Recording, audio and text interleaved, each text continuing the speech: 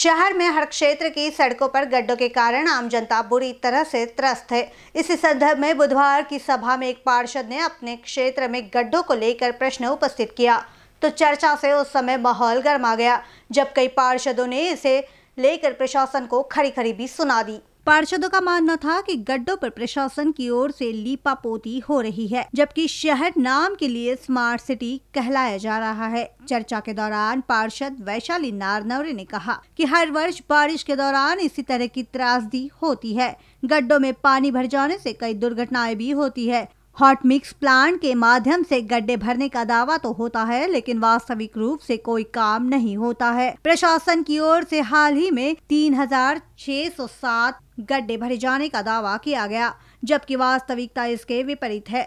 चर्चा में कांग्रेस पार्षद दिनेश यादव और हरीश ग्वालबंशी ने प्रशासन पर निशाना साधा। नागपूर शहरात जे खड्डे आहे, ते आहेतच, हे नाकारण्याचं कारण नाही. का आहे हे प्रशासनाचं उत्तर आम्ही घेतला. प्रशासनाने आपल्या उत्तरामध्ये स्पष्टपणे नमूद केला की प्रशासनाने जेवढे काम होते ते मागील दीड वर्षापासून थांबवले आहे त्यामुळे हे गड्ढे आहे असे प्रशासनाने कबूल केले. प्रशासनाने हे कबूल केल्यानंतर त्यांना स्पष्ट निर्देश देण्यात आले की नागपूर म्युनिसिपल कॉर्पोरेशनच्या बडत बजेट करत असताना आम्ही रस्तेसाठी जे वेगळे पैसे ठेवले आहेत ते तर आहेतच. याच्याशिवाय हे संपूर्ण गड्डे विजवण्यासाठी आणि रस्त्याची सुस्थिती दुरुस्ती करण्याच्या दृष्टीने जे काही पैसे लागत असेल ते बजेटचा अनेक असे हेड आहे जे करोनामुळे काम होऊ शकत नाही.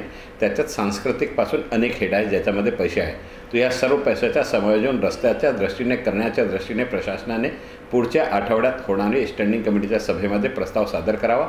स्टँडिंग कमिटी महानगरपालिकेच्या सभागृहाला प्रस्ताव सादर करते आणि महानगरपालिका आपला बजेटमध्ये पुनर्नियोजन करून रस्त्याचे गड्डे भरण्यासाठी विशेष निधी उपलब्ध करून देईल असा निर्णय घेण्यात आलेला आहे. कई पार्षदों की ओर से गड्ढों पर प्रशासन की कार्यप्रणाली को लेकर रोष जताया गया, जिसके बाद महापौर दयाशंकर तिवारी ने भी प्रशासन पर निशाना साधते हुए कहा कि गड्ढे भरना पार्षद की ज़िम्मेदारी है या प्रशासन की, इससे लेकर भी लोगों में संभ्रम है। गत समय नए कार्य करने पर प्रतिबंध लगाया गया था, लेकिन गड्ढों को समतल करने का काम नया नहीं होता। यह रख रखाव का काम है। इसके पालनकर्ताओं ने आयुक्त के रूप में जिसे भेजा, उस अधिकारी ने रख रखाव पर भी ध्यान नहीं दिया। बैकलॉग को पूरा कर गड्ढे गड्ढे भरने को तुरंत गति दी जानी चाहिए। शहर में अलग अलग विभागों की सड़कें हैं। हालाँकि गड्ढे भरना मनपा की ज़िम्मेदारी है, लेकिन इन विभागों पर भी ज़िम्मेदारी है। इससे इन विभागों को कड़ा पत्र लेकर सूचना देनी होगी। वास्तविक रूप में यह काम करना होगा। अतः सात दिनों में इसका निर्णय लेने के निर्देश भी महापौर द्वारा दिए गए हैं।